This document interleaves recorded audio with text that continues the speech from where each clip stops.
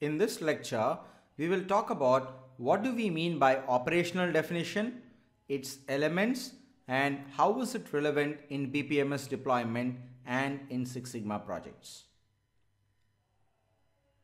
I always wonder when I travel in aircrafts who actually owns the space where the seats can recline. Is it owned by the customer sitting in the front or is it owned by the customer sitting at the back? Operational definition is largely to give clarity in scenarios where there is ambiguity. To clearly define who owns that space. That is what we mean by operational definition. In a scenario like this, it may not be a big deal because one of us would end up adjusting for the other.